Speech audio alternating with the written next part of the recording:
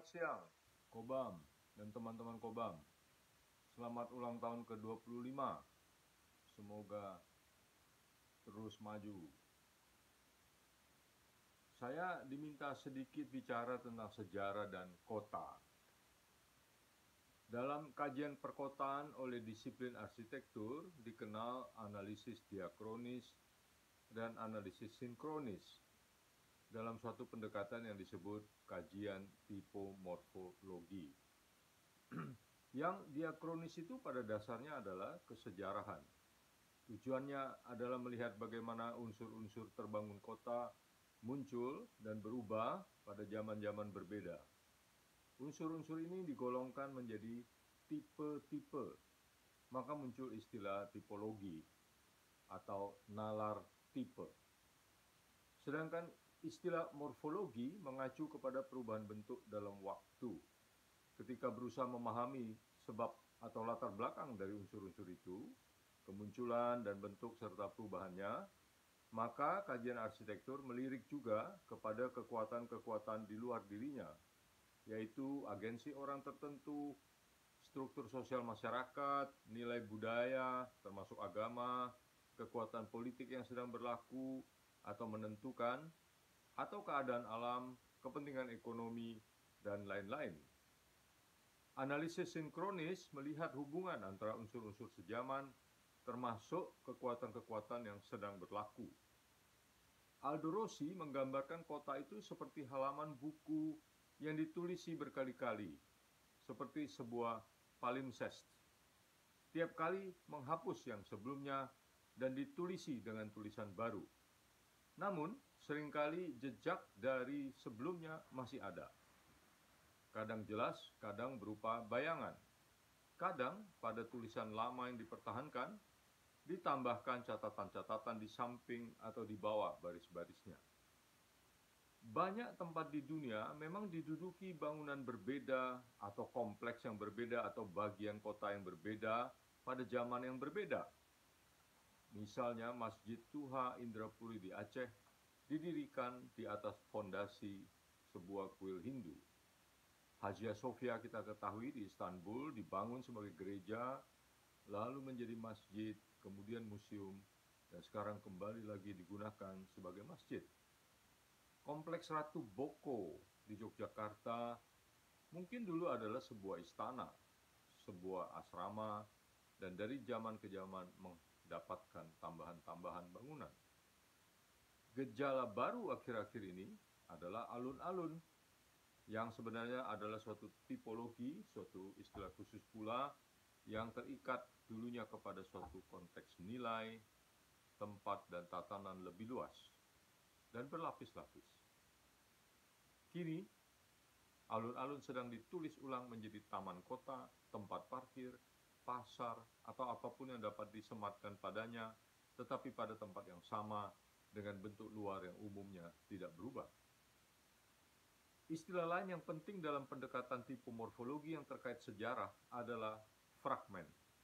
Aldo Rossi menerangkan fragmen seperti dalam bidang arkeologi, yaitu suatu fragmen adalah sekeping tertinggal yang ditemukan dari sesuatu yang lebih besar yang utuh. Fragmen dalam keadaan tidak utuh itu menggantungkan maknanya kepada hubungannya dengan sesuatu yang utuh itu, yang menyebabkannya dapat dikenali sebagai bagian atau representasi dari suatu gaya dari tempat tertentu, yaitu konteks ruang, dan dari zaman tertentu, yaitu konteks waktu. Kota adalah kumpulan fragmen-fragmen itu yang berasal dari zaman-zaman berbeda, berkumpul, bercampur di dalamnya. Tetapi kajian perkotaan atau urban studies melihat bahwa pendekatan seperti di atas itu masih terbatas dan tidak mencukupi karena pada akhirnya mengarah hanya kepada pemahaman dan gambaran bentuk fisik. Meskipun banyak kehidupan sosial berkelindan dan bahkan bercetakan pas pada tatanan fisik kota, seperti misalnya di Cakra Negara, tetapi banyak hal lain tidak selalu demikian. Cakra Nagara sendiri adalah suatu contoh unik. Saya uraikan di bab 12 buku saya, kota ini sekarang adalah sebuah kecamatan bagian timur dari kota Mataram di Lombok. Hingga tahun 1950-an, ia masih jelas terpisah dari Ampenan, yaitu bagian barat kota Mataram, inti kota Mataram di bagian tengah, serta sekitarnya. Dunia mengenal Cakranegara sebagai tempat ditemukannya pertama kali suatu salinan kakawin desa Warnana yang kemudian disebut negara Kertagama, yang menggambarkan dengan terperinci Majapahit dan ibu kotanya, Trowulan, pada abad ke-14 di masa kekuasaan Haimuruk. Sejak penemuan itu, pada tahun 1894, orang berlomba-lomba meneliti Trowulan dengan suatu ironi, lupa meneliti cakra negara itu sendiri. Seorang teman mengatakan, ini seperti menemukan barang bukti, membawanya pergi, lalu lupa mengolah TKP, tempat kejadian perkara. Cakranegara adalah sebuah kota Hindu tipikal yang paling utuh yang ada di Indonesia, melebihi yang ada di Bali dan tentu saja lebih jelas daripada Trowulan itu sendiri. Sebab hingga sekarang Cakranegara masih utuh, pola dan banyak unsur-unsur lainnya, termasuk pura utama dan pura-pura komunitasnya. Ia digagas mungkin sudah sejak pertengahan abad ke-18 dan dibangun selengkapnya di awal hingga pertengahan abad ke-19. Pada cakra negara ini, pola organisasi sosial bertepatan dengan pola fisik. Satu blok mewadahi satuan kolektif sosial terkecil seperti RT kita, tetapi lebih sedikit jumlah kakaknya. Dan beberapa blok mewadahi satuan lebih besar yang terdiri dari beberapa dari yang kecil itu. Dan seterusnya. Bab Cakra Negara buku saya mungkin yang pertama yang menampilkan peta berwarna terperinci Puri Cakra Negara lengkap dengan terjemahan keterangannya setelah Puri itu sempat dihancurkan pada tahun 1894 dan dibuatkan petanya dan diterbitkan pada tahun 1895. Namun, banyak kehidupan telah bercabang dan berubah bentuk yang tidak sejalan dengan bentuk kota dalam pengertian fisik kajian tentang kehidupan di dalam kota sangat berbeda misalnya dari ahli seperti Abdul Malik Simon sampai ke Jerome Tadier yang sempat dibahas di Kobam dan bukunya juga diterbitkan Kobam. Lagi pula misalnya kajian tentang kehidupan kaum terpinggirkan, antara lain kaum miskin kota dan pekerja informal, memerlukan pendekatan-pendekatan lain Meskipun pemahaman akan dimensi keruangannya dapat dibantu dengan pendekatan tipomorfologi.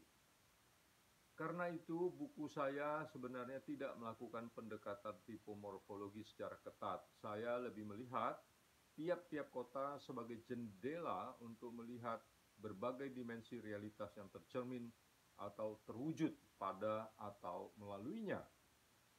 Selain mencoba memahami kota-kota itu pada dirinya sendiri, Sebab itu misalnya pada bab 17 yang berjudul Susilo dan Kebayoran Baru, saya menguraikan kehidupan Susilo itu sendiri. Sebab kehidupannya mencerminkan berbagai hal dalam kehidupan dan perkembangan kekotaan kita. Misalnya tentang munculnya dan riwayat kelas menengah, tentang pemikiran kekotaan Jawa dan Barat, tentang masalah perumahan sejak akhir abad 19 hingga pertengahan abad 20 Sedangkan pada bab 1 berjudul Ternate, selain menggambarkan perkembangan bentuk kota itu, saya mencoba meneropong berbagai hal lain. Misalnya kapitalisme rempah dan kemudian tambang, suatu gejala baru di tempat yang sama. Eksotisme barat atas rempah dan sebetulnya juga burung dan tentang peran Ali, bukan Ali Sadikin tapi Ali pembantu Alfred Russel Wallace. Wallace kita ketahui menuliskan penemuannya tentang mekanisme seleksi alam di kawasan Maluku dan mengirimkannya dari Ternate sehingga dikenal sebagai The Letter from Ternate atau The Ternate Essay. Mekanisme seleksi alam adalah bagian penting dari teori evolusi Darwin. Juga dibahas bahasa Ternate di bab ini terutama yang unik yang terkait dengan istilah-istilah keruangan dan perkembangan mutakhir kehidupan kaum muda di sana. Kehidupan masa kini pekerja dan migrasi ke Batam adalah bagian yang penting juga pada bab 3 yang saya beri judul Tanjung Pinang dan Batam. Batam sebenarnya merupakan pengalaman sangat penting dalam sejarah perencanaan kota Indonesia. Inilah kota industri pertama yang direncanakan sejak awal. Bahkan pengalaman pertama dalam membuat kota baru setelah kebayoran baru. Jauh sebelum pihak swasta bahkan mulai berpikir tentang kota baru. Bagaimana kita bisa melupakan pengalaman yang sangat penting itu untuk gambaran terperincinya, termasuk kerja kinerja ekonominya, serta beberapa gosip tentang para pendirinya, yaitu Soeharto dan Habibie, mohon sudi membaca sendiri nanti di bab 3. Bab 4 Banda Aceh memanfaatkan juga peta-peta tua terperinci yang dibuat ketika serangan Belanda pada tahun 1873. Padanya ada unsur penting sejarah perancangan kota di Nusantara sebenarnya, yang sampai saya selesai menulis buku saya, rasanya masih kurang dibahas. Dalam hal ruang terbuka ini, saya melacak sejarah publik sampai kepada dinas prasasti Talang Tuo yang bertanda tahun 23 Maret 684 Masehi. Ini di dalam bab berjudul Kebun, Alun-alun, Taman, dan Lapangan Prasasti ini berisi keterangan peresmian sebuah kebun perlak untuk kutip buka siapa saja yang lewat maupun singgah memperoleh makan dan minum secara cuma-cuma kutip tutup. Karena itu, kita dapat mengatakan bahwa ruang terbuka umum pertama yang diketahui di Indonesia sejauh ini adalah berupa sebuah kebun. Sejak itu, sebenarnya Nusantara memiliki tradisi rancang taman yang kaya dan sangat luar biasa yang kelihatannya belum sungguh-sungguh menjadi acuan para perancang masa kini yang sebenarnya mendapat banyak kesempatan merancang taman di kota-kota kita akhir-akhir ini. Namun Aceh sendiri tentu saja pernah memiliki taman yang dimiliki dan dibangun oleh Sultan Iskandar Muda, kemungkinan diselesaikan oleh Iskandar Tani di abad ke-17 yang masih memiliki tinggalannya dan dapat direkonstruksi secara cukup nyata melalui pembacaan kitab Bustanul Salatin oleh Araniri. Bab Aceh juga berisi uraian tentang rekonstruksi pasca tsunami 26 Desember 2004 berdasarkan antara lain pada pengalaman pribadi saya. Tidak lupa juga Aceh penting ketika kita mengulas sejarah kopi tentang yang terakhir ini saya menerapkan pendekatan yang telah saya sebutkan. Melalui Aceh, saya menuliskan sejarah kopi dan gejala budaya kafe, bukan kopi. Bagi saya kehidupan kafe atau eh, kafe itu beda dengan eh, warung kopi. Bukan hanya di Aceh, tetapi juga di daerah-daerah lain sebagai suatu gejala perkotaan umum sejak awal abad ke-20, bahkan sebetulnya di akhir abad ke-19 warung kopi tertua itu kita ketahui berasal dari akhir abad ke-19. Warung tinggi. Selain itu Aceh memiliki sejarah bentuk masjid yang unik yang secara lebih terperinci ada di bab 4 tentang masjid. Teman-teman, demikian tadi itu sekilas ya, cuplikan dari buku dari bab-bab dari buku saya yang berjudul Kota-kota Indonesia Pengantar untuk Orang Banyak sebagai ilustrasi tentang sejarah dan kota. Buku itu akan diterbitkan Kobam bekerja sama dengan Rujak Center for Urban Studies. Peluncuran insya Allah akan diadakan pada bulan Agustus 2023. Akhirnya, sebagai penutup, saya menyimpulkan bahwa setelah membaca sejarah kota lebih banyak, berbagai hal tentang pemahaman kita akan kota Indonesia tampak perlu diubah Misalnya, tidak benar kota-kota Jawa itu dengan alun-alunnya menghadap ke utara atau selatan. Masjid juga tidak benar selalu berada di sebelah barat alun-alun. Juga tidak benar hal itu karena kemudahan menghadap kiblat. Selain itu, peran air dan gunung jauh lebih penting daripada dugaan selama ini. Namun di atas semuanya yang paling penting adalah bahwa ternyata kota-kota Indonesia memiliki banyak sekali pelajaran dan presiden yang tampaknya selama ini belum cukup diungkapkan. Dan karena itu masih harus dimanfaatkan. Untuk cerita selanjutnya yang lebih terperinci, mohon sudi membaca langsung dan selengkapnya buku saya Karena kalau dijelaskan ringkas, saya khawatir menimbulkan salah paham. Sedangkan uraian di buku tersebut sebenarnya cukup terperinci, mengandung data dan nuansa yang menurut saya cukup kaya. Semoga nanti teman-teman memang memperoleh kesan demikian.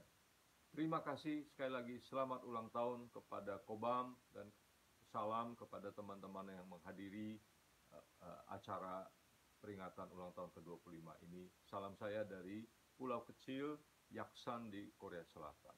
Salam